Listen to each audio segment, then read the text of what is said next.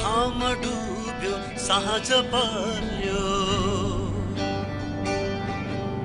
अब छुट्टिने पनि बेला भयो। आजको दिन पनि बित्यो। यो रात काट्ला न काट्ला भोलि आउला या नहौला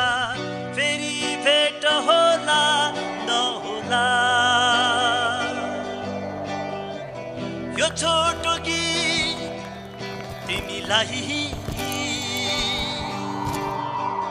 फेरि नभेटे सम्मलाई। यदि फेरि भेटै नभए